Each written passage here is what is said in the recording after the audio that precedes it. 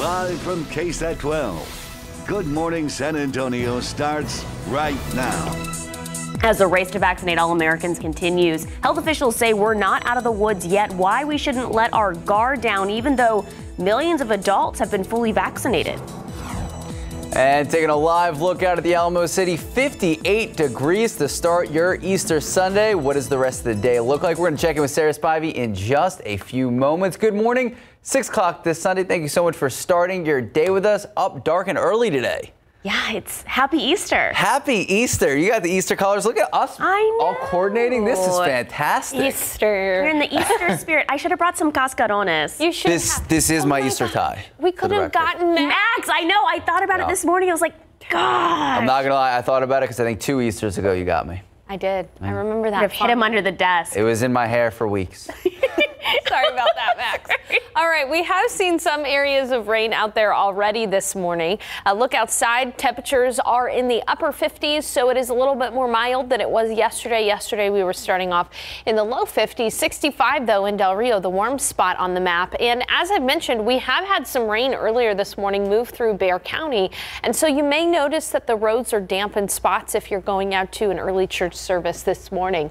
Now, uh, across the hill country, you can see out near Kerrville, even in Edwards County, some more pronounced rainfall. But in Bexar County, we've got one isolated shower here just east of 410 on the east side north of China Grove. That is pushing off to the north and to the east. And so today for your Easter Sunday forecast, we are going to carry a 20% chance for isolated rain, especially in the morning hours here. Uh, but uh, again, your Easter Sunday should not be a washout. Most Easter egg hunts are going to be perfectly fine today. If you do happen upon a pop-up shower, just bring up the KSAT weather app. You can actually track the radar there with us. And in the afternoon, we'll see some sun, high temperature of 75. So a pretty nice Easter Sunday, other than dodging a few showers here and there. In the week ahead, though, boy, are we going to warm up. I'll show you high temperatures in the 90s and which days to watch out for those coming up in just a bit. Sarah and Max. Thank you, Sarah. New this morning, crews investigating a house fire in the 5900 block of Bowsprit. Alicia Barrera is live there. Alicia, what can you tell us at this point? So we know four, a family of four was inside the home. The good news this morning is that they were all able to make it out safely. Uh, this happened a few hours ago. Firefighters have been on the scene. I spoke to Battalion Chief Brad May, and he tells me that the fire started in the living room area of the home. Again, the family was able to make it out. Right now, we know this home is a total loss. Let me tell you, there were two adults inside, two children. Again, they made it out. Unfortunately, they are mourning the loss of, of their family pet. Uh, Battalion Brad, Battalion Chief Brad May tells me that once firefighters got here this morning, the home was engulfed and there was really no way that they could safely make it out inside. So they had to fight this fire defensively, obviously, uh, also concerning some of their, focusing some of their efforts on the homes next door. The cars, he wasn't able to tell me if those are a total loss, but already they're estimating about $150,000 in damages. So the family will not be able to make it back in there anytime soon. They'll probably have to wait until this afternoon. Um, at this point, no cause. That's something that they're still investigating. And I'll speak with him again in just a few minutes to see if arson will be taking over this case. Reporting Alicia Barrera, KSAT 12 News. Thank you, Alicia. Well, a man is dead this morning after police say he lost control of his vehicle and crashed into a tree. It happened around 2:30 this morning in the 11,200 block of Applewhite Road. Police say the driver was pronounced dead at the scene. A woman in her late teens in the passenger seat was taken to University Hospital and is in critical condition. Police believe speed was a factor in the crash. Police also investigating another crash that ended with two drivers in the hospital. Take a look. This happened around 1:30 this morning at Loop 410 and Wurzbach. Police on the scene telling us it was a two-vehicle crash. The collision caused one driver to lose control and then hit the median. The driver of that vehicle taken to a nearby hospital with non-life-threatening injuries. The other driver was able to pull over, also taken to the hospital. Texas is expected to get an additional 2.5 million doses of the COVID 19 vaccine next week. This is according to the Department of State Health Services. Metro Health will get 300 doses of Moderna, more than 12,000 doses of Pfizer, and 6,000 doses of Johnson & Johnson. University Health will get more than 19,000 doses of Pfizer, and WellMed will have more than 7,000 doses of Pfizer. And Americans observing another Easter holiday amid this pandemic. But unlike last year, there are signs of hope and recovery. Still, health officials are urging people to proceed with caution because cases are heading in the wrong direction in several states. ABC's Ty Hernandez has a story. On this Easter weekend, health officials are concerned family gatherings could lead to another surge in cases of COVID 19. Anytime we let our mask down, our guard down, or have unvaccinated people gathering, we're really looking for trouble. The CDC's new guidance saying fully vaccinated travelers who wear masks and social distance can fly at low risk to themselves. But cases are still on the rise. In the last two weeks, the number of daily COVID infections jumping 20%. Michigan reporting more than 8,500 new cases Saturday, its highest daily case total since December. By the recent numbers, um, we know we've got a bit of a reality check. But there's good news. In hard hit Los Angeles County, the number of people hospitalized continues to decline, dropping below 600. Meantime, a new milestone in the vaccine rollout. The U.S. now averaging more than 3 million shots a day. Dr. Anthony Fauci on CNN encouraging everyone to get vaccinated. It will give you a freedom of getting back to some degree of normality. And in New York City, a slight return to normality as Broadway's famous St. James Theater holds a performance for the first time in more than a year. I feel anxious, but I usually saw a show a week, so this is great to be back since I haven't. The last show I saw was March 8th, 2020. The performance taking place before a masked, socially distanced crowd. Ty Hernandez, ABC News, New York. Uh, In your morning headlines, Noah Green, the man who rammed a car into two officers outside the U.S. Capitol, had been suffering from delusions, paranoia, and suicidal thoughts. That's according to a U.S. official. The official was not authorized to speak publicly about the ongoing investigation. Investigators are focused on Green's mental health as they work to identify any motive for the attack. And the Florida governor, Ron DeSantis, declaring a state of emergency in Florida after a significant leak at a large storage pond of wastewater that's now threatening to flood roads and burst the system that stores polluted water. Officials in Florida were evacuating more than 300 homes and an entire highway in the Tampa area. The Florida Department of Environmental Protection says a break was detected in one of the walls of a pond holding millions of gallons of water containing phosphorus and nitrogen from an old phosphate plant. Officials are mostly concerned that the water could flood the entire area.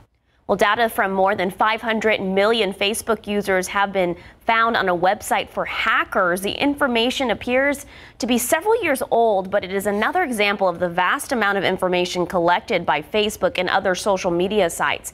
The availability of the data set was first reported by Business Insider. Some of the information included in the data is phone numbers, Facebook IDs, full names, locations, birth dates, and email addresses. All right, time now is 6:08, 58 degrees out. Go Spurs, go! It has been a tough stretch of overtime losses. We're going to explain what happened last night and what comes next for the Silver and Black. And the Tower of Americas is holding an Easter egg hunt. Oh. What families can expect at the Extravaganza event that's happening today. See what they did there? Egg extravaganza. Mm. And taking a live look out there, like we said, 58 degrees. What does the rest of your Easter Sunday look like? We're going to check in with Sarah Spivey in just a few moments. Good morning and welcome back. Happy Easter Sunday. So, as a reminder, the Archdiocese of San Antonio easing social distancing protocols. Churches will open all pews and reduce social distancing requirements from six feet to only three feet. But remember, face masks are required and there will be thorough cleanings throughout the church. This comes as parishes are preparing for Easter masses and, of course, celebrations. The Tower of Americas is hosting an Easter egg extravaganza today at the base of the tower.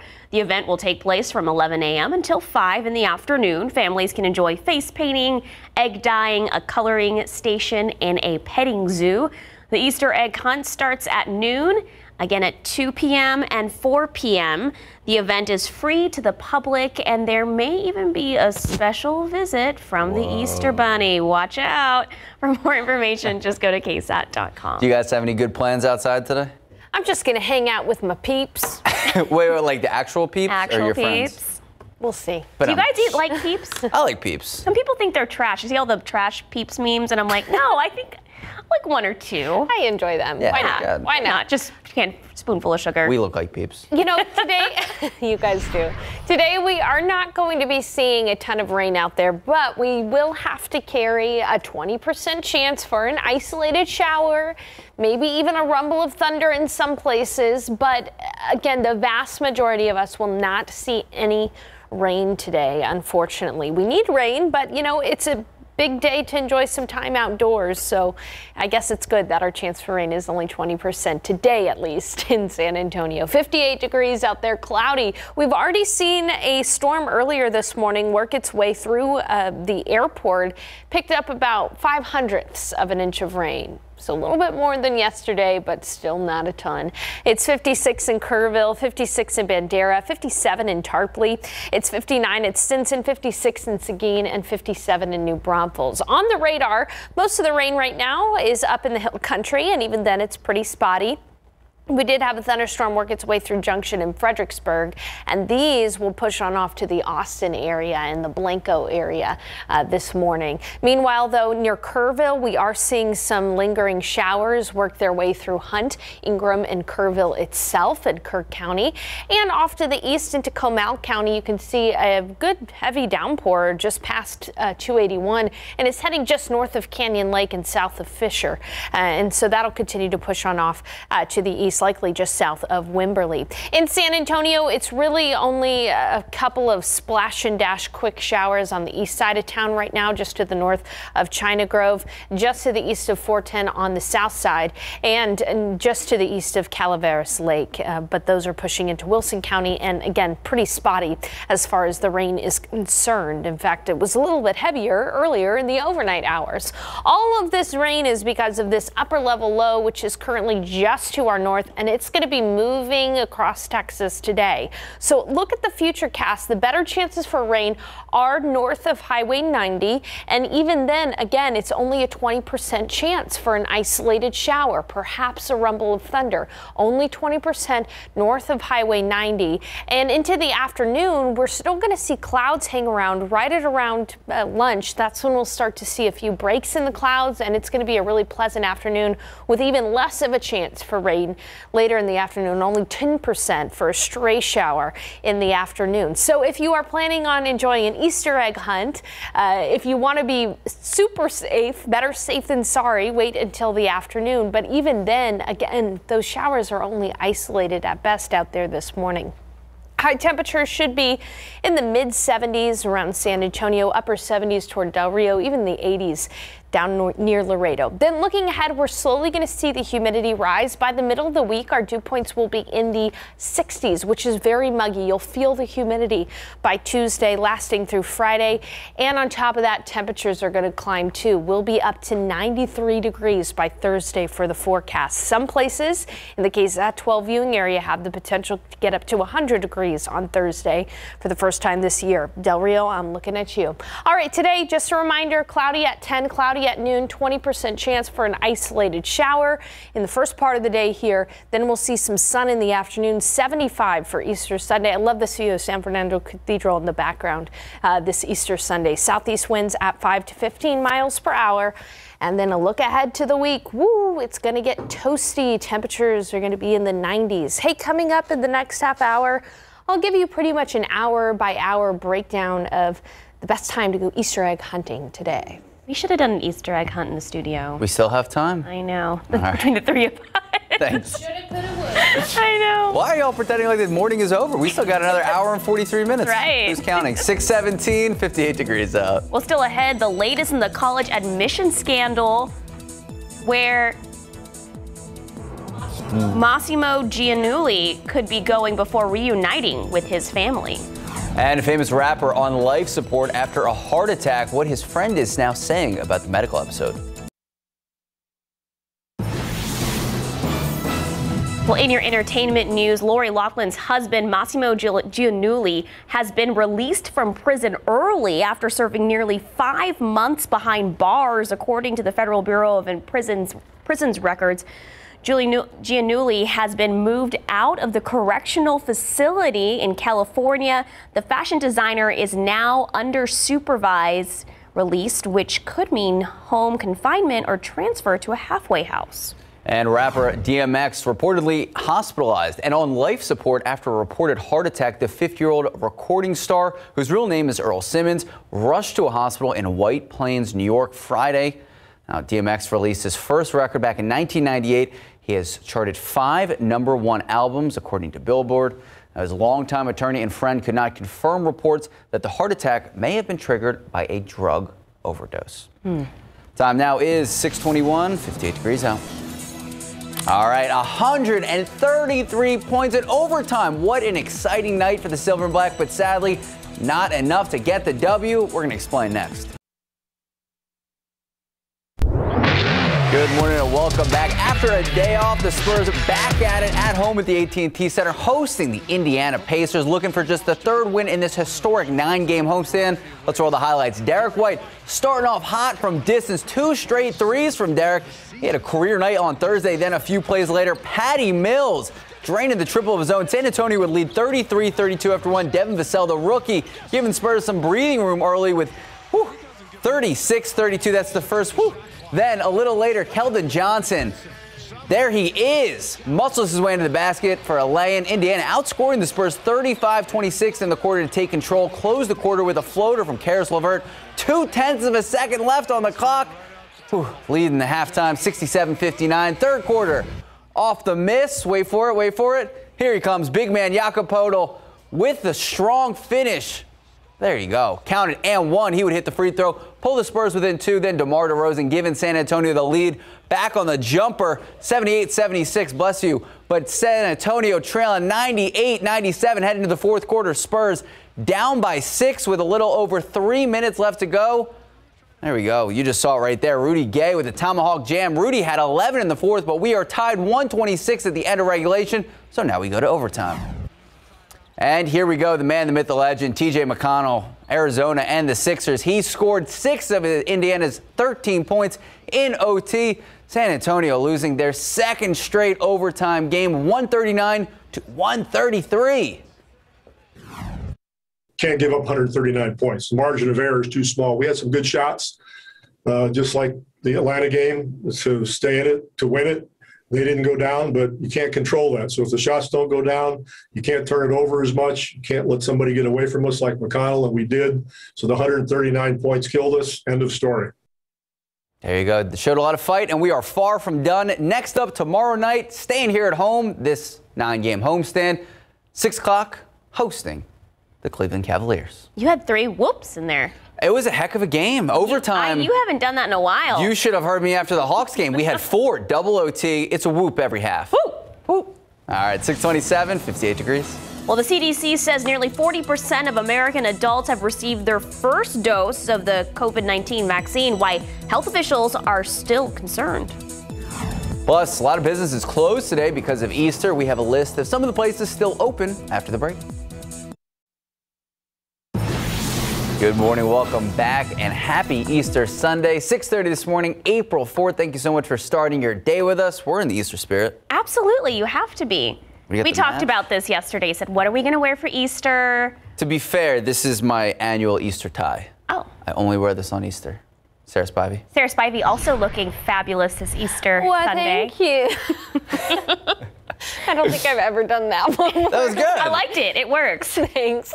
Uh, before the break, I promised you that I would give you an Easter egg hunt forecast. So, happy Easter, everyone.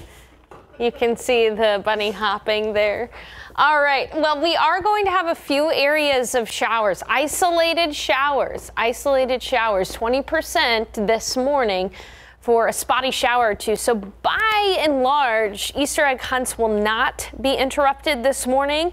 But if you want to be extra safe in the afternoon, our rain chances go down to 10% this afternoon. And we'll see temperatures slowly rise in the afternoon to about 75 degrees for the afternoon high temperature. Thanks, dude. You did a great job. All right, here on the radar, we do have some rain, especially up in the hill country. Even a couple of flashes of lightning in western Kerr County right now. A good shield of rain from Fredericksburg down to Kerrville in that Hunt Ingram area. These are quick passing showers that are pushing off to the east pretty quickly. Uh, one is a little bit heavier out in Comal County, though, just to the north of Canyon Lake between Fischer and Canyon Lake. Again, moving off to the east. No lightning with that detected, just a heavy downpour. And then on the east side of Bexar County, right on the eastern edge of Loop 1604, we've got a shower there. This one is pushing into Wilson County, just to the south of La Vernia. So as you can see, we've already got a few isolated showers out there. That is going to be the case today. But how do our rain chances look in the week ahead and just how warm will we get? I've got a look at that forecast coming up. Max and Sarah. Thank you, Sarah. New this morning, a family's home damaged after flames broke out. More than a dozen fire units responding to the 5900 block of Bowsprit around 4 this morning. Our Alicia Barrera is live from the scene with the latest. Good morning, Alicia. Good morning. Well, really, there was no way that firefighters could actually make it inside the home by the time they got here to try to save anything. And unfortunately, this home has been deemed a total loss by fire crews. There's literally no roof. We know that fire started in the living room area. That's according to firefighters on the scene. And it may be a little hard to tell right now, but if you pay close attention and with those flashes of light, you can see it's completely shredded. There's nothing left there. Battalion Chief Brad May says the family was inside when the fire started this morning. Two adults and two children were able to make it out without any injury, but of course they're shaken up. They're seeing all this damage. They saw their home and everything they own just be destroyed in minutes. And Battalion Chief Brad May tells me the victims are also mourning the loss of their family pet. One of the challenging factors for firefighters this morning was that the flames were so intense that at one point the home on the right side was at risk of catching fire too. So they're still monitoring that area. Actually, just a few uh, seconds ago, one of those recycling bins or trash cans caught fire again. Right now, no cause has been determined, uh, but they tell me that they don't suspect any foul play. So it is still under investigation. And I guess the only good news this morning is that the family is okay. Reporting live from the city's southwest side, Alicia Barrera, KSAT 12 News.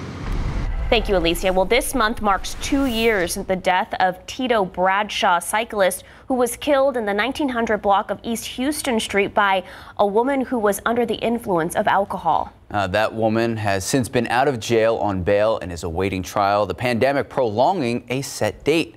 Jennifer Pena, the mother of Tito Bradshaw's son, says it's been two years too long since Bradshaw was hit while riding his bicycle by this woman, Linda Collier Mason. Mason was arrested at the scene of suspicion of intoxication assault, but that charge was later upgraded to intoxication manslaughter once Bradshaw died from his injuries. Bradshaw's family is hopeful of a trial as soon as next month. I know that it's set for May, so if this could be just be done in May, you know, that would bring us some relief, some closure that, you know, she's behind bars and she's not out possibly drinking and driving.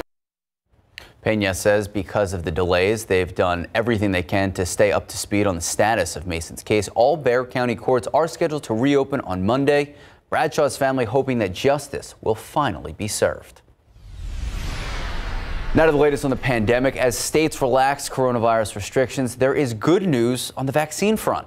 New numbers from the CDC show nearly 40% of American adults have received their first dose of the coronavirus vaccine. But as CNN's Polo Sandoval reports, health officials continue to warn about a rise in new cases.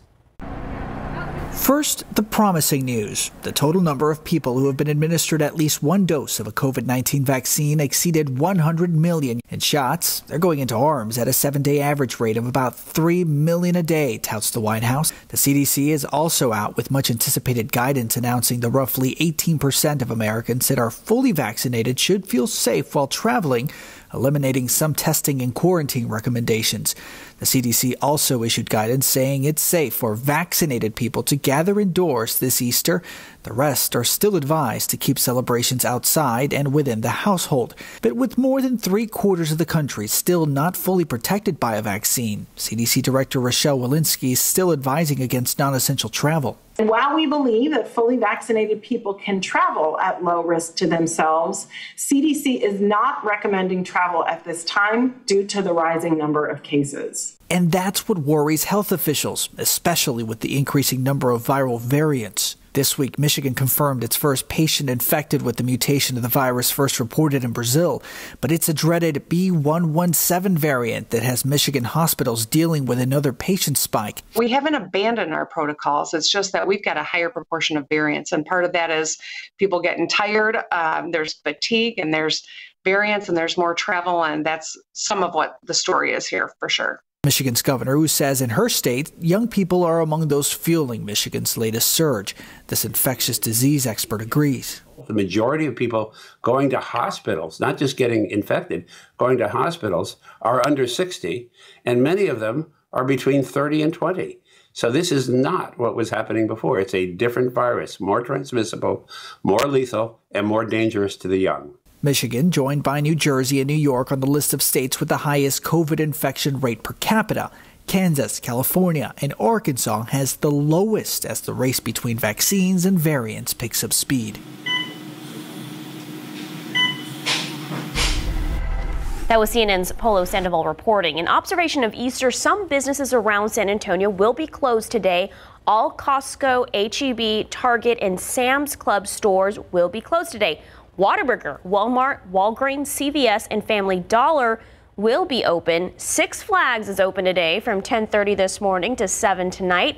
The San Antonio Zoo will also be open to visitors from 9 to 5. You can find a complete list of businesses open and closed today on KSAT.com. Well, the championship game is set for the women's NCAA tournament right here in San Antonio. Arizona taking on Stanford tonight at 5 o'clock. It has been a unique tournament to say the least.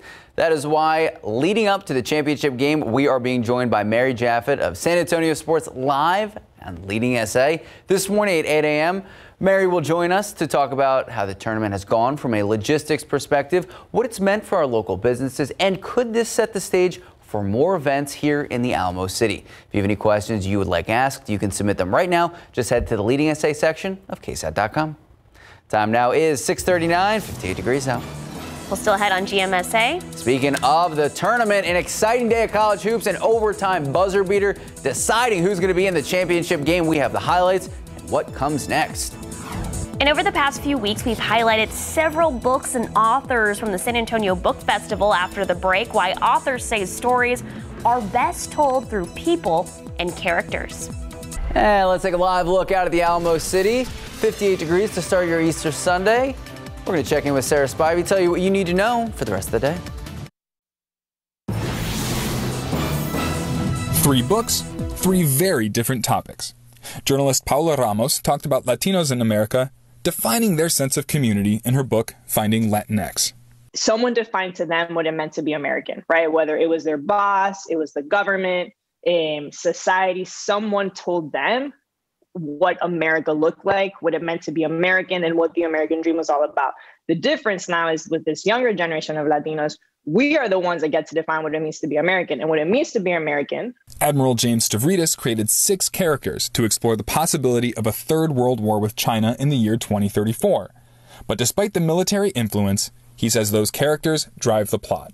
Technology is not at the heart of this book. Um, this is a book about characters, about people. You don't have to be an expert to read the book. Kind of the opposite. The book is written to be very approachable and to tell the story through these characters. And Kristin Hannah took us nearly 100 years into the past to write an American epic about the Dust Bowl through a woman's eyes. As we find ourselves sitting here in the middle of a pandemic, I think it's really important to be to be reminded um, that we are a tough people and you know we can do this. We'll come out on the other side. All of the authors i spoke to want to use their words to help us relate to one another and to help us define what it means to live in this country. My hope is this. Now my hope is that some latinos that have felt sort of misplaced or misunderstood can read that book and feel seen and then suddenly want to be part of this conversation or suddenly want to vote because now they understand that it matters or suddenly want to speak up because now they understand that their voice matters. And hopefully, through these books, you can find your own voice in the United States. Jared Hoeing, KSAT 12 News.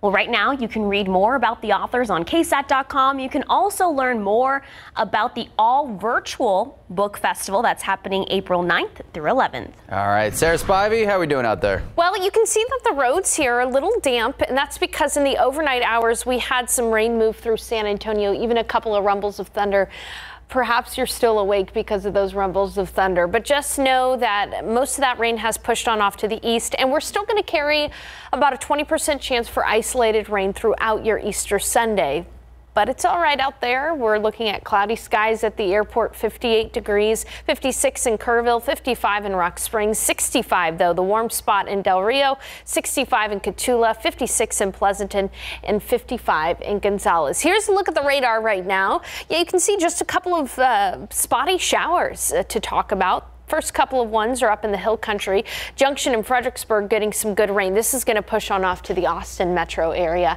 Meanwhile, around Kerr County, a couple of flashes of lightning in western Kerr County. Hunt, Kerrville, Ingram, if you look out to the west, you might be able to see a few flashes of lightning. Some rainfall for those areas along I-10 between Kerrville and Comfort as well. And then right north of Pipe Creek in Bandera County, a shower is moving closer and closer to Boerne. So quick splash and dash shower for those in Boerne early this morning, just within the next 15 minutes or so. Meanwhile, we've got a shower just north of Canyon Lake, pushing on off toward Wimberley and the San Marcos area. These are again pretty isolated, one just south of La Vernia. And in Bexar County right now, it's fairly quiet other than that road spray you may encounter if you're heading out for an early church service. So looking at the high-res futurecast, most of the rain today is going to be north of uh, Highway 90. And again, just a reminder that uh, it'll be isolated, 20% chance for an isolated shower.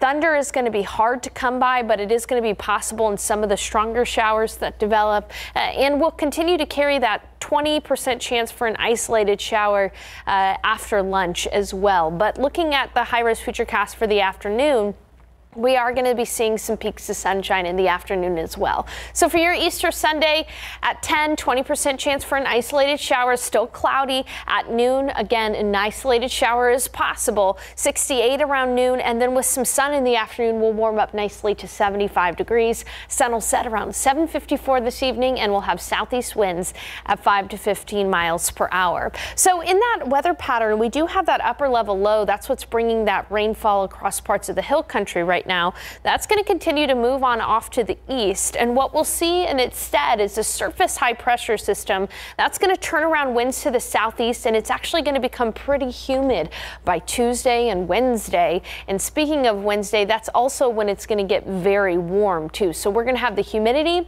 and we're going to have the warmth. It'll feel a lot like summer from Wednesday, Thursday, and Friday when we'll be near 90 degrees around San Antonio and across parts of the southwestern viewing area. We could be closer to 100, like closer to Del Rio. Could see their first triple digit day if of this year so far. So it's going to get pretty warm pretty quickly, but we just have to get through uh, that small chance for rain this morning. Notice how in the next seven days we really don't have a good chance for rain, and that is unfortunate because it gets even drier in the summer months and drought conditions exist out there. So not looking good for our rain chances over the next seven days as temperatures warm up. Max and Sarah. Uh, Texas spring. 93, love it. 648, 58 degrees out. A top Texas matchup and the second game. Remember the name Jalen Suggs. He's going to be the face of the sports world today. A phenomenal day for the Final Four. We'll have the details next.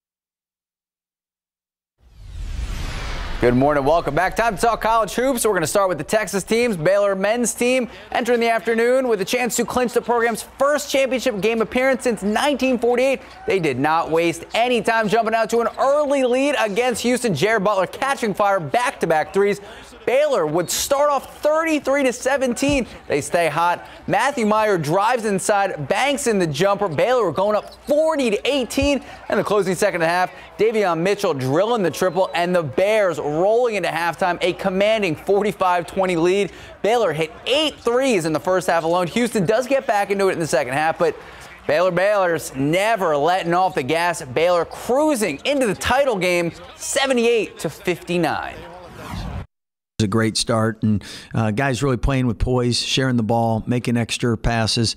Um, but the big the big thing was uh, um, we really guarded first half, really defended well, rebounded well. When we're all you know connected and we're all united, it's hard for anybody to beat us. And um, we got all a lot of guys who would start on other teams, um, Division One easily. You know, got a lot of pros, and um, I think that's why we're so good. You know, that's why we're making it to the national championship game.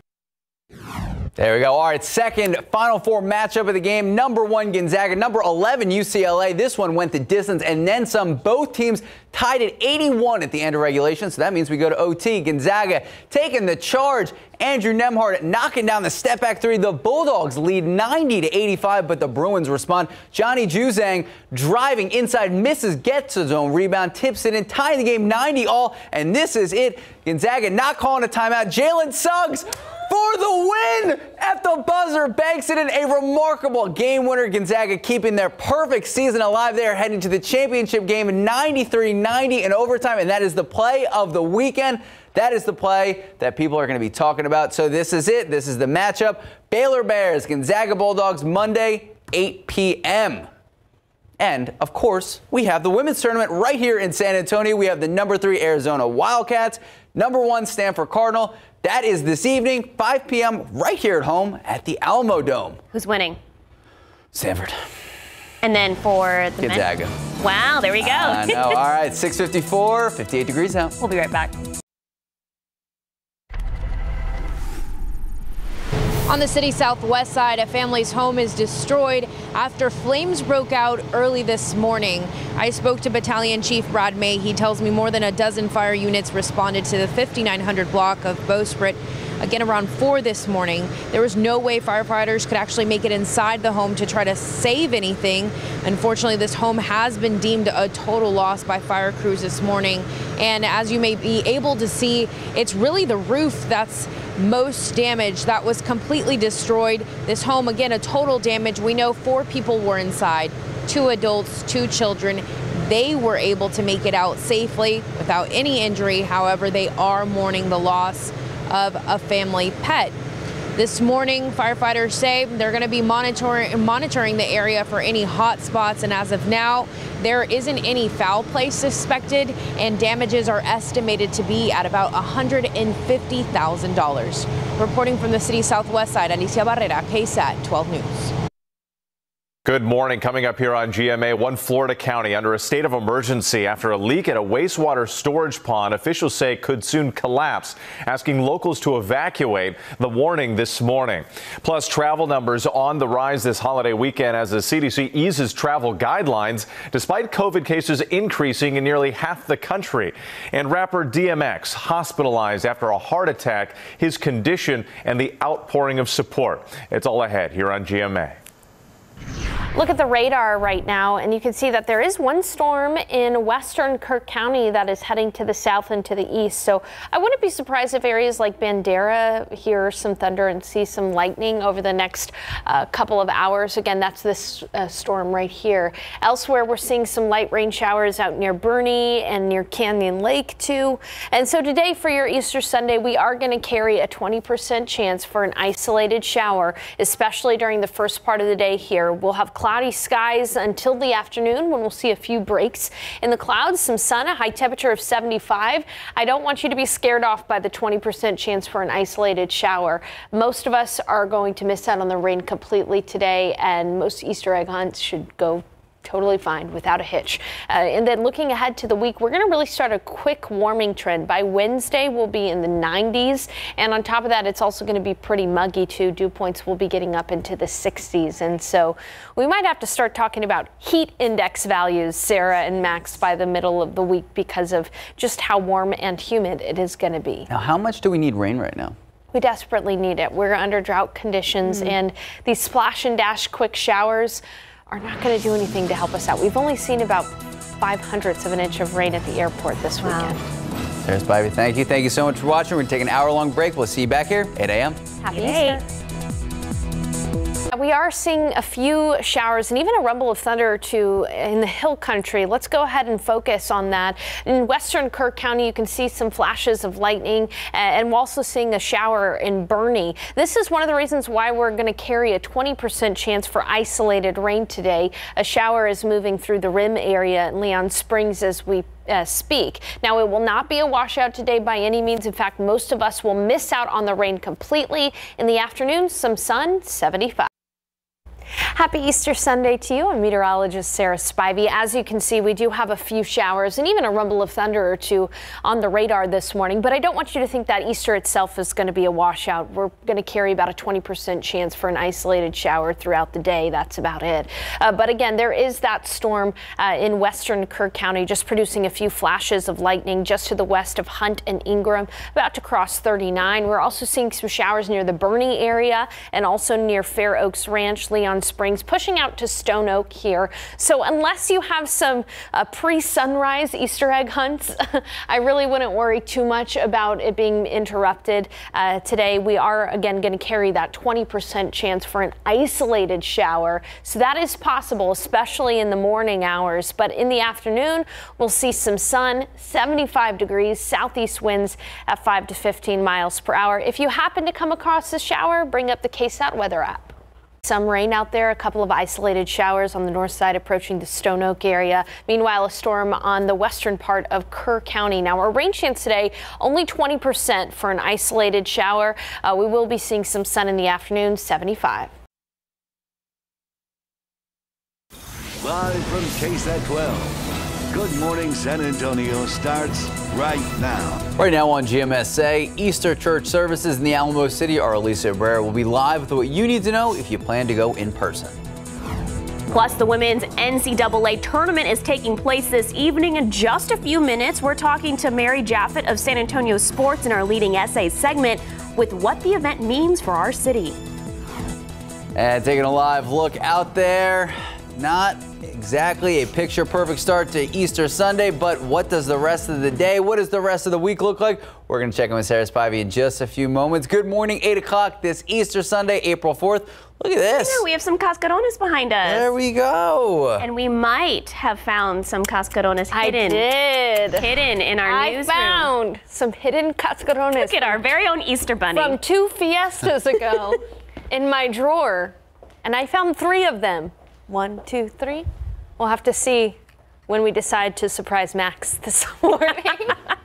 Outside, though, as Max was mentioning, it is kind of damp and gray out there this morning. 58 degrees at the airport, 56 in Kerrville. It's 55 in Rock Springs. A warmer 65 in Del Rio. Closer view here, uh, 54 at Boerne Stage Airfield and 57 in New Braunfels. We have had areas of rain. In the overnight hours, we had a thunderstorm move through San Antonio. You may have been woken up right at around 2 o'clock in the morning. It was a very weak thunderstorm and just dropped about 600th of an inch of rainfall at the airport overnight. Uh, and as you can see, really all we're left with is a, a, few isolated showers, even an isolated thunderstorm in western Kerr County that is generally moving to the east. So Hunt and Ingram, you may be able to see a few flashes of lightning early this morning. Meanwhile, an isolated shower near Timberwood Park in Bulverde along 281 and approaching that I-10 corridor as you're heading into uh, Kendall County there between Boerne and Leon Springs. But that's about it for the rain right now. And honestly, I have to carry a 20% chance for an isolated shower this morning. But for the vast majority of your Easter Sunday, we're not going to see a washout. It'll still be a nice Easter Sunday, just a little cloudy to start. We will see some sun in the afternoon, 75 degrees for the high, southeast winds at 5 to 15 miles per hour. Coming up in the forecast, I'll show you an updated look at the radar and we'll talk about a big warm up in our future. We're talking temperatures in the 90s already in April. Sarah and Max, back to you. Thank you, Sarah. The Archdiocese of San Antonio easing COVID restrictions just in time for Easter. The announcement came earlier this week as Catholic churches across the area prepare for Easter masses and celebrations. Alicia Barrera joining us live outside San Fernando Cathedral with more on what changes people can expect if you are going to church in person today. Good morning. Well, total, complete changes. I remember being here last year and it was a bit of a struggle because not a person was in sight and really even the streets felt a little eerie because we were just at the beginning of all this COVID-19 pandemic. Last year, churches didn't have any Easter services, but things are much different this morning already. Although live streaming is still an option for a lot of churches, many are expecting a large number of in-person parishioners today. The Archdiocese of San Antonio announced churches will open all pews and reduce social distancing requirements from six feet to three feet. But face masks are still required and there will be thorough cleaning throughout each church. And of course, sanitation options like hand sanitizer will still be made available. We know that priests must still wear a mask when giving communion and will continue to sanitize their hands before and after giving communion. And Spanish Mass started right at 8 a.m., so just four minutes ago here at San Fernando Cathedral. And from what I've been able to see, a pretty steady crowd went in, all wearing masks. And one thing that you should expect if you're going to in person uh, church today is that you still do have to wear a face mask and temperature checks will be uh, will be underway at the door. Um, and already here at San Fernando Cathedral I peeked over and from the first pew all the way to the back I've seen at least two three people per pew. So again they are reducing those social distancing measures down to three feet but masks will still be required. Reporting live from downtown Alicia Barrera KSAT 12 News Thank you, Alicia. New this morning, San Antonio police tell us a man is dead after losing control of his vehicle and crashing into a tree. Take a look. This happened around 2.30 this morning. This is the 11,200 block of Apple White Road. Police tell us the driver pronounced dead on the scene. A woman in her late teens in the passenger seat taken to University Hospital in critical condition. Police right now believe speed was a factor. A family on the southwest side has been forced out of their home after a fire broke out early this morning. San Antonio fire crews say it started at 4 o'clock this morning in the 5900 block of Bowsprit near Old Pearsall Road. They say a family of four was inside at the time, but they were able to make it out safely. Unfortunately, their small dog did not make it. The San Antonio Fire Department says the home is a total loss with damages estimated at $150,000. Arson is investigating the cause. And we have new details in the investigation of the person who was shot and killed on the city's south side Friday evening. Bexar County Medical Examiner's Office identifying the victim as 41 year old man, but we still do not know his exact name until his next of kin has been notified. As of now, San Antonio police telling us they have arrested the suspect, 28 year old Raymond Hernandez. He is now facing a murder charge. Now, the shooting happened just before 10 on Friday on West Bates Boulevard. Police tell us they got a call from a neighbor who said someone had been shot next door. When they arrived, that victim already dead inside the home. The neighbor gave police a description of Hernandez, who was found several blocks away with a handgun. Police say Hernandez and the victim had been arguing before shots were fired. In your latest news, San Antonio police are still on the lookout for the person who shot at two people inside an apartment over the weekend. This happened just after 10 p.m. on Friday on Sandmeyer Street. When officers arrived there, they found a man with several gunshot wounds and a woman who was unharmed. The man was taken to the hospital, and police say he had life threatening injuries. No word on a suspect description at this time. On the vaccine front this morning, the Department of State Health Services tells us Texas is expected to get an additional 2.5 million doses of the vaccine next week. Here's how the vaccine allocation breaks down for Bexar County. Metro Health will be getting 300 doses of Moderna, more than 12,000 doses of Pfizer, and 6,000 doses of Johnson & Johnson. University Health will be getting more than 19,000 doses of Pfizer, and WellMed will have more than 7,000 doses of Pfizer. The federal government is directing Johnson & Johnson to take over vaccine production at a Baltimore plant that spoiled 15 million vaccine doses. J&J is promising to make up the shortage quickly, but federal officials want to make sure it doesn't happen again. The company subcontracted vaccine production to the Emergent Biosolutions Bayview facility, which allegedly made the quality control mistake. Emergent was also making vaccines for AstraZeneca. Now, the Department of Health and Human Services is ordering that the AstraZeneca vaccine production be moved to another plant. We know the women's NCAA tournament is here in San Antonio, and tonight is the big game, the championship between Arizona and Stanford, the culmination of years of hard work and the pinnacle of a unique season. And it's not only been a unique season, but also a unique tournament. That is why Mary Jaffet is joining us in today's Leading SA segment. Good morning. Good morning. Thank you so much for joining us Easter Sunday morning. So we'll get right to the questions. How has the tournament gone so far from a logistical perspective? Well, it's not like nothing we've ever seen before, of course. I mean, San Antonio is well versed in hosting men's and women's Final Fours, but this has been something uh, unusual to say the least. I mean, it wasn't, you have to keep in mind, it wasn't until February that we knew we would be hosting all 64 teams, not just the Final Four. And so it was a mad sprint to, to get everything organized and in line. And it's been different in every way, but in, in many ways, it's been very much the same. When our team rallies, our city rallies, we do a, a great job, and, and that's come through. What has made this event so unique for San Antonio? Well, of course, you know, the pandemic of you know changed everything. So the fact that the NCAA decided in February to bring the entire tournament to San Antonio was uh, honestly a real boon for our economy because it's about a $27.2 million economic impact. That's 35,000 hotel room nights, which is tremendous for our devastated hospitality industry. But in every other way, it changed. We our volunteers weren't working directly with crowds and student athletes because the student athletes were in a controlled environment. But we changed. So we pivoted to having a virtual team host program. So we were uh, tending to their needs as we always would, but it was through uh, a network of people who are running around the community getting what the, the student athletes needed and delivering it to the front door of a hotel rather than working directly with the student athletes. So that's just one example, but there's been so many. Uh, speaking of the student athletes, obviously it'll bump in the road in the beginning. Social media went crazy when there were pictures of the weight room disparity between the men's and the women's tournament. Can you guys talk about that? Oh yeah, well, uh, obviously. I mean, it's the 800 pound gorilla in the room, certainly, and the NCAA owned it. They they took full responsibility, and it is an ongoing issue, and it's not going to be over just because the tournament is over tonight.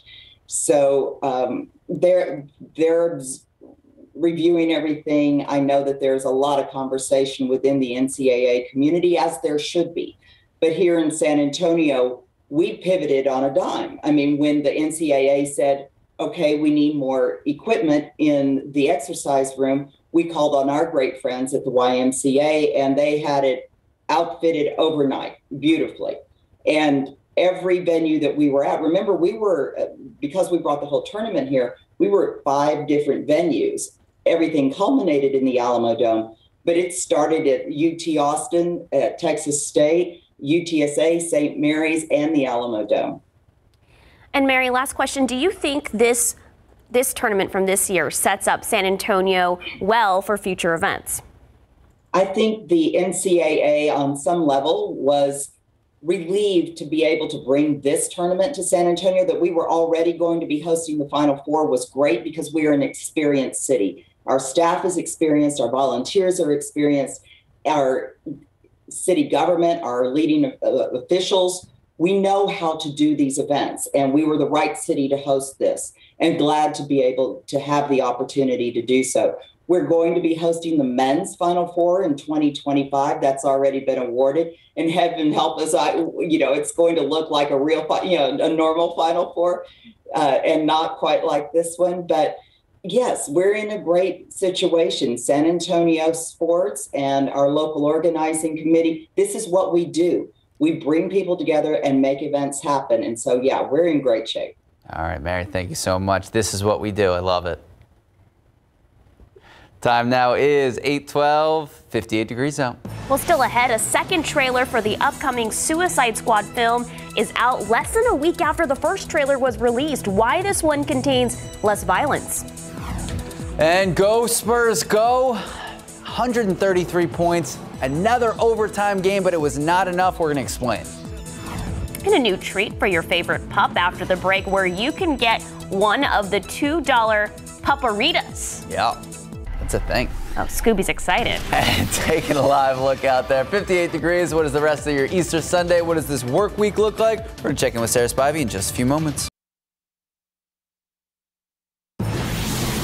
Good morning, welcome back, and happy Sunday. So, dog parents can now rejoice and enjoy a special treat with their four legged friends thanks to a local restaurant. Pretty excited. This week, LaGloria announced it'll be adding Pupparitas to its menu. The Pupparita is a non-alcoholic drink made of dog-friendly chicken broth over ice. The drink is $2 each, and all the proceeds from the Pupparitas will be donated to the Cannoli Fund. The Cannoli Fund is an all-volunteer nonprofit that supports King William and Lavaca residents who take care of rescued animals. You can learn more about the nonprofit on ksat.com. Sarah, do you think Scooby, Absolutely. your dog, would love a pupparita? He like inhales any mm. treat, food, anything. I gave him. They, they make non-alcoholic beer for dogs. Oh. He inhaled Whoa. that, so he'll be there. All right. All right.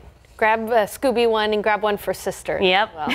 okay, so we just got the pollen count in. It's not very pretty this Easter Sunday. In fact, in spite of the spotty rain over the last few days, oak has risen even higher. It's at its highest levels so far this season. Oak is at 12,030 pollen grains per cubic meter of air. And so I'm feeling it. I'm sure you're feeling it at home as well. And you can actually see the oak falling from the trees, the oak pollen falling from the trees. Uh, mold is also elevated. It's moderate today. Thankfully, pine, mulberry, and hackberry are all low. Outside right now, the roads are a little damp in spots because of some overnight showers and storms. It's 58 degrees at the airport and cloudy. The skies, they really do look like they want to rain, don't they? But in fact, rain is going to be few and far between uh, for this Easter Sunday, which is good news for some of us, especially those of us who uh, are going to enjoy watching some kids do some Easter egg hunts and putting on Easter egg hunts. It's it's going to be nice enough that most of us shouldn't have any kind of interruptions. There will be a couple of spotty showers, though, here and there this morning. 56 in Kerrville, a cool 55 in Comfort, 54 at Boerne Stage Airfield, 59 in Hondo, 59 at Stinson and 55 in Seguin. As I mentioned, there are a few spotty showers. There was even a storm up in Kerr County that's not really producing any lightning at the moment, but it may pulse up again and produce a few flashes of lightning. This is just south of Hunt, just south of Ingram, and just to the west of Kerrville. Uh, but Kerrville is currently getting some light rain as well. Speaking of light rain, we're seeing a light rain shower just to the east of I-10 uh, in northern Bexar County there for some of the Fair Oaks communities. And we're also seeing uh, a couple of passing showers out near Timberwood Park and Bulverde too. Similar story up near Canyon Lake and Fischer and into uh, Comal County and Guadalupe counties. We're also seeing a few isolated showers there. Similar story for Gonzales County and just to the east of the Nixon Smiley area. So Hallettsville, you're probably going to get a quick splash and dash shower this morning as well. This is all right around an area of low pressure uh, that's uh, currently up to our north. So areas like Killeen and Waco, they have a much better chance at seeing rain than us here in San Antonio, but we are going to carry, again, a 20% chance for an isolated pop up shower throughout the day, especially this morning and especially north of Highway 90. Right around noon will still be fairly cloudy, uh, but into the afternoon, we'll have peaks of sunshine and it'll be a nice and comfortable afternoon. High temperatures in the mid 70s generally for all of us, upper 70s for Del Rio, uh, 78 for Carrizo Springs, 81 in Laredo, right around 75 around that I 35 corridor from New Braunfels down to San Antonio and Pleasanton. Then we're going to see our humidity increase pretty quickly. It's going to be nice and pleasant with low humidity today in the afternoon, but by Tuesday, we'll see our dew points get up into the 60s, close to 70 degrees by Friday.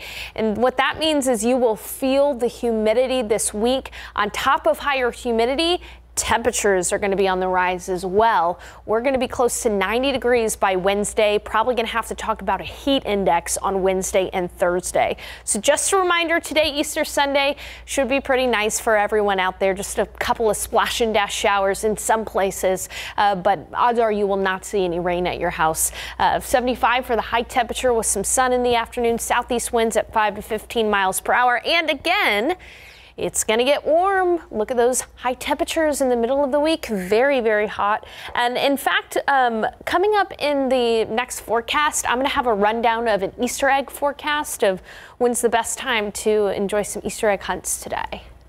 Sarah Spivey, thank you so much. 821, 59 degrees out. Cascarone. All right, Jerry Seinfeld is back to performing in front of a live, a live audience who the comedian opened for this weekend in New York City. And Suicide Squad releasing a trailer that is not rated R when you can expect to watch the film on the big screen.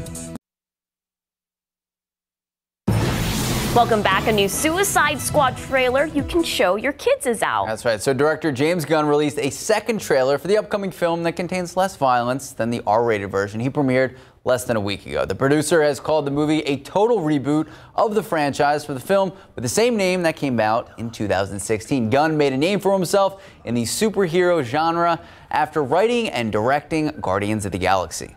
Warner Brothers hopes he can recreate some of the same magic he brought Marvel's characters on the silver screen to the company's Rossiter from competing DC comics. It's not a defection for Gunn. He's still tied to the third installment of the Guardians of the Galaxy series, which is likely slated for a 2023 release. His Suicide Squad entry is scheduled to hit theaters and HBO Max much sooner on August 6th. I like the original Suicide Squad, but I just like Will Smith. I never saw it. What? I'm just a Marvel. Well, don't worry. You got John Cena in this one, so you're good to go. Ooh. Eight. 826. Oh, for a second year in a row, a famous Easter egg event outside the White House has been canceled. Still ahead, how you can still participate virtually this year. And new details emerging about the suspect in the deadly attack at the Capitol. We have the details. Good morning, welcome back, and happy Easter Sunday. I'm Max Massey. And I'm Sarah Acosta. It is April 4th. It's Easter. There we go. A lot of people out and about today. The egg with the egg extravaganza. The egg extravaganza. There we Easter go. egg hunts, There barbecues. Hopefully everyone's being safe still. I was going to say, Sarah, what can we expect out there, though? Well, there are a few splash and dash quick showers out there, but it is not going to be a washout of an Easter Sunday, and I'm happy to report that. I've got my friend here, the Easter Bunny. He's going to help me out with an Easter egg hunt forecast. if you want to uh, make sure to go Easter egg hunting today, just know that if you go this morning or if the kids go this morning, there is a small chance 20% for a quick splash and dash shower, but there's going to be a lot less of a chance for rain in the afternoon. 75 for the high temperature. It's cloudy now, but we will see some sun in the afternoon. Thanks, little guy. You did a great job. Okay, on the radar, we do have some of those showers that are showing up. Overnight, we had a storm move through San Antonio. Might have woken you up. It was just a very brief storm. Not severe. It did drop about six hundredths of an inch of rainfall at the airport, which is something. Up in Kerr County, though, that's where most of the rain is right now in our viewing area, just to the west of Kerrville, just to the west of Hunt and Ingram.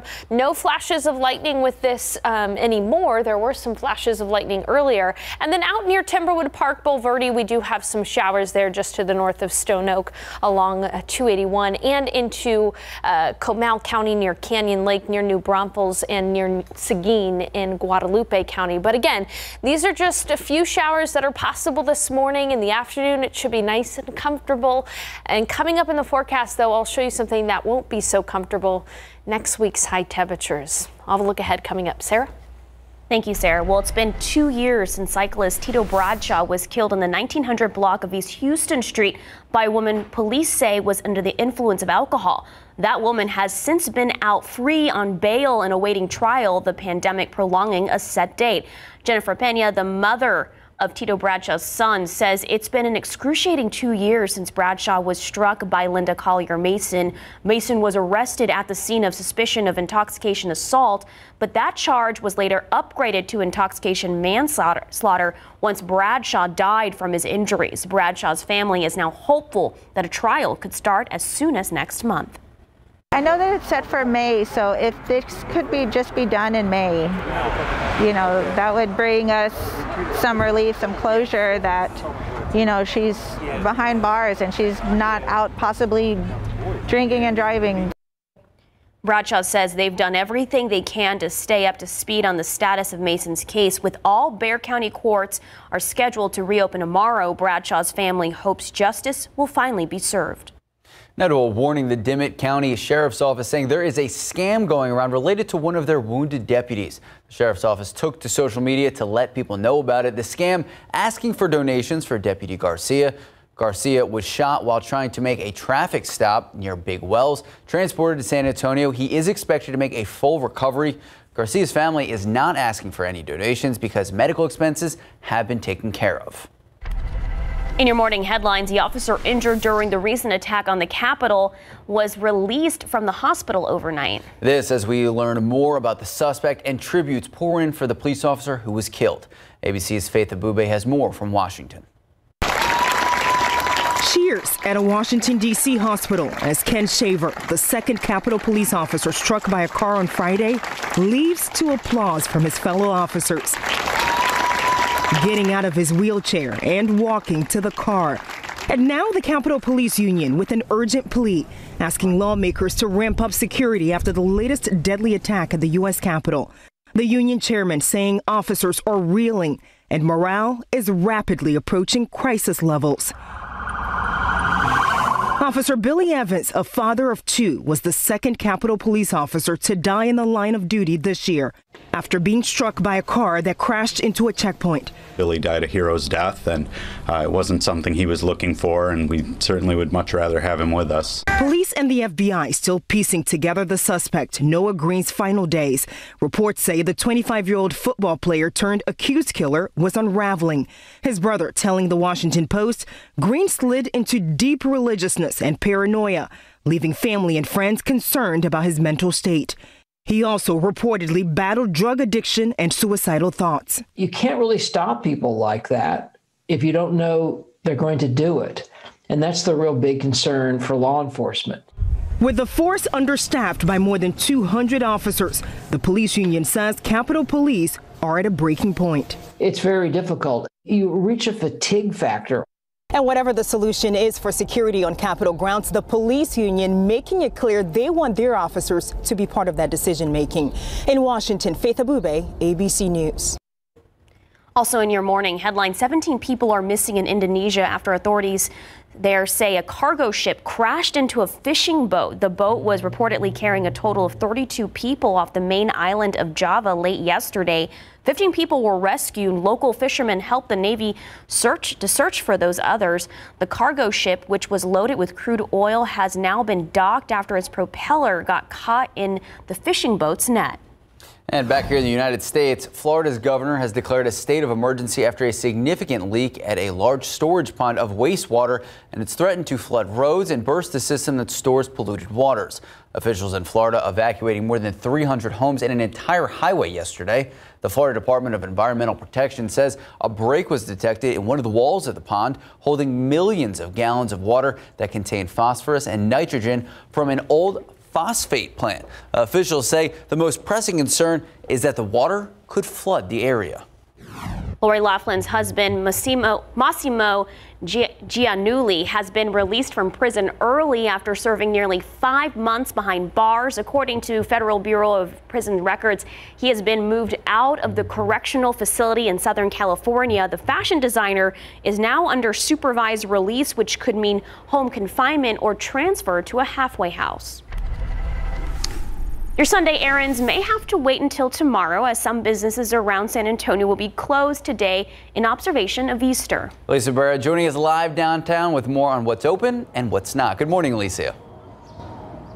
Good morning. Well, let's start off with who is giving their employees the day off. On that short list, really, is HEB, Costco, Sam's Club, and Target. But then there are all the other businesses, including Whataburger, that are going to be open. But if you have family in, town, in town or just want to spend the day doing something fun, take a look on your screen. These are the entertainment venues available, uh, perhaps after you go to church or uh, do your egg hunt. That's Legoland, Six Flags, the zoo, and SeaWorld. Those are all opening today. And if you have some shopping to do, outdoor stores, including Academy and Bass Pro Shops, are open for business. CVS, IKEA, and Walmart are also open. You can head over to ksat.com for that full list. And if you don't want to cook today or just want to grab a bite or dessert, here's some options to keep in mind. We know La Gloria, Bistro 09, Trader Joe's, are open. Also on that list is good Texas Old Faithful Whataburger. But if you want something sweet, like a cheesecake, that's off of Broadway. They have, they'll be open today until about 8 p.m. and they have a very extra special pastry. It's a cheesecake with carrot cake and then cheesecake on top.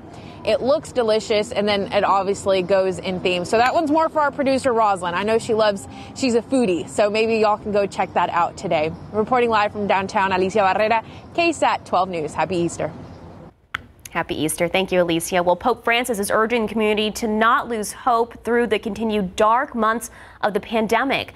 Pope Francis made the appeal for hope as he celebrated a scaled back Easter Vigil service in St. Peter's Basilica yesterday due to social distancing norms. Only about 200 masked people were allowed to attend the Mass, which marks the period between Christ's crucifixion and his joyous resurrection on Easter Sunday.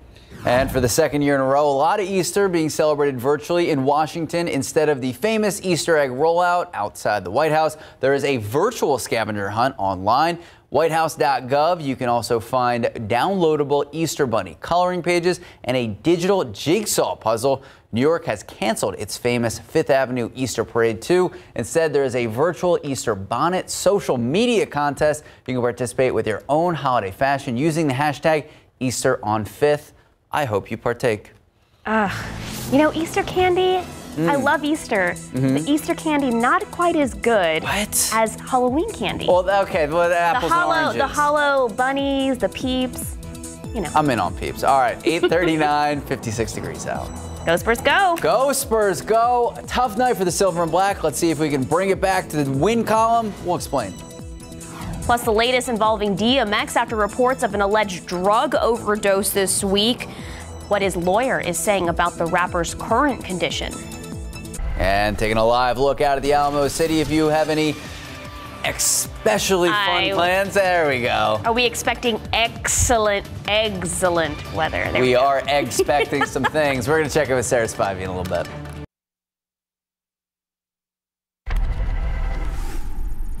Biden goes big, but his infrastructure plan to rebuild America now getting heat from all sides. What will it mean for the economy and American families? Today, the president's point man, Pete Buttigieg, plus the Powerhouse Roundtable on ABC's This Week with George. In your morning spotlight, DMX's longtime New York based lawyer Murray Richman says the rapper was on life support last night. Richman says the artist had a heart attack. He could not confirm reports that DMX allegedly overdosed on drugs and was not sure what caused the heart attack. DMX made a splash in rap music in 1988 with his first studio album called It's Dark and Hell is Hot, which debuted at number one on the Billboard 200 chart. Legendary comedian Jerry Seinfeld performed in front of a live audience in New York City this weekend for the first time since the start of the pandemic. He opened at the Gotham Comedy Club, which has been closed for over a year, along with all of New York's live venues since March of 2020. Seinfeld announced the surprise performance on Twitter, proclaiming NYC lives. The comedian has been a notable supporter of New York City, fighting naysayers who say the city is dead as a result of the pandemic. Model Chrissy Teigen and her two children with singer actor John Legend are featured on the new cover of People's Beautiful issue. Speaking to the magazine, Teigen discussed various topics, including parenting and her outlook on life. She also talked about the family's heartbreaking loss of son Jack last year due to pregnancy complications. Teigen and Legend got married in 2013 after meeting on the set of one of his music videos seven years earlier. Spurs after taking a one-day break. The San Antonio Spurs hitting the court back here at home, taking on the Indiana Pacers. Roll the highlights. Spurs did a lot. They scored a lot, a lot of good overall team movement, but this is going to be their second straight loss in overtime. Two and six so far in their nine-game homestand. DeMar DeRozan, 25 points, his 450th career game with at least 20. DeJounte Murray and Keldon Johnson each racking up 20, and Derrick White adding in 18. San Antonio outscored Indiana 5-0 in the final two minutes, forcing overtime. San Antonio would cut Indiana's lead 126-125 with 50 seconds. There we go.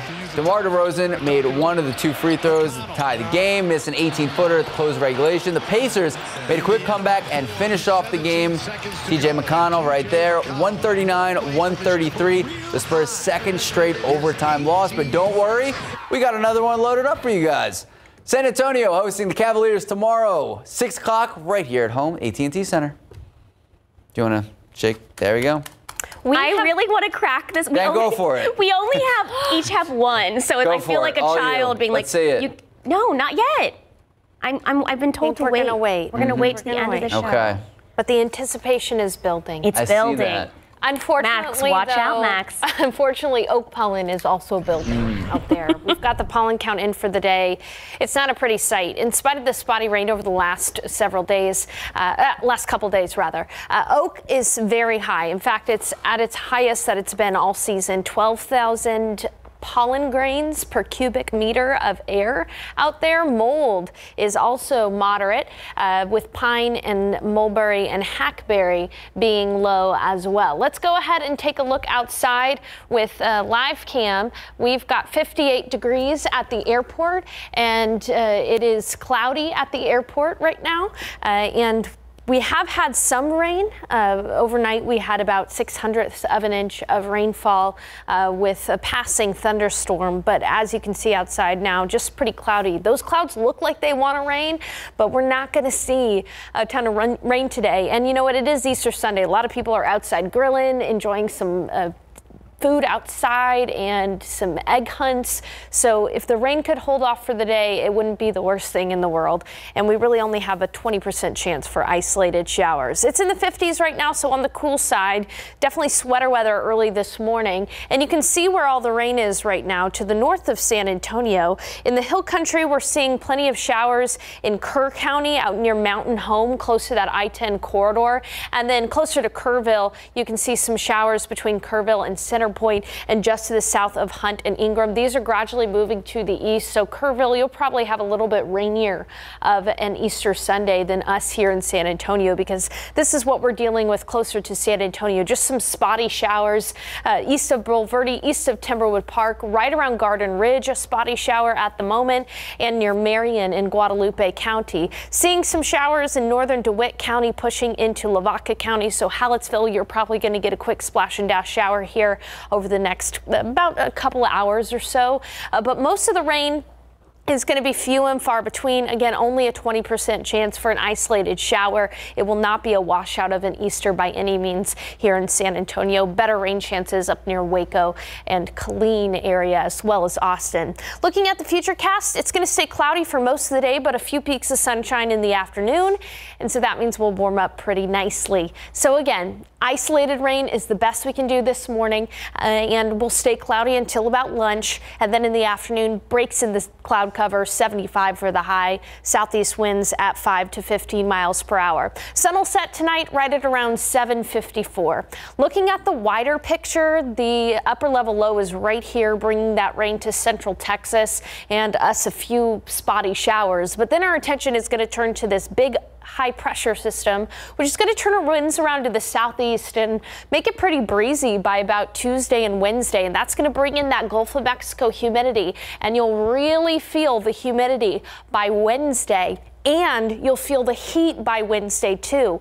Wednesday and Thursday, our high temperatures will be near 90 degrees in this upcoming week. So it is going to be very warm, borderline even hot with a heat index into uh, the picture by the middle of the week as well. So yes, we have to talk about a heat index in April.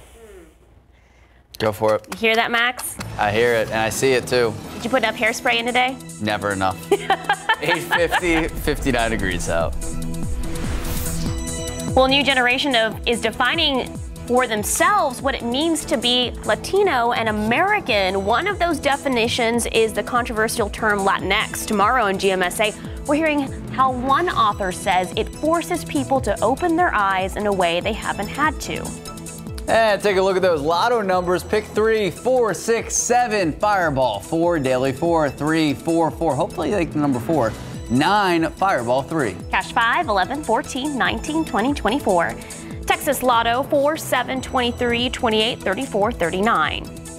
And Powerball 1, 12, 17, 39, 53. Powerball 5, Power Play 2. In the news you need to know before you go, San Antonio police say a man is dead after losing control of his vehicle and crashing into a tree. Right now, we know it's happened around 2.30 this morning in the 11,200 block of Applewhite Road. Police say the driver pronounced dead at the scene, a woman in her late teens in the passenger seat, taken to University Hospital. They're believed to be in critical condition. Police believe speed was a factor in the crash. And just a reminder in the pollen count, kind of not such great news. Hmm. That oak is very high, past 12,000. Mold is moderate at 550. We do have some rain in the hill country near Kerrville and in parts of Kendall County. We're going to carry a 20% chance for an isolated shower today, in the morning hours especially. And then in the afternoon, we'll be warming up to 75. Coming up in the week ahead, Woo, it's going to be hot, 90 degrees for the high temperature by Wednesday. Some areas on Thursday in our KSAT 12 viewing area could reach the triple digits. Whoa. One last thing before we go. We've been waiting all morning to do this. Happy Easter! Ow, that one hurt my hand. Have a great Easter Sunday. Wishing happy and healthy to everyone. Bye, guys. This is my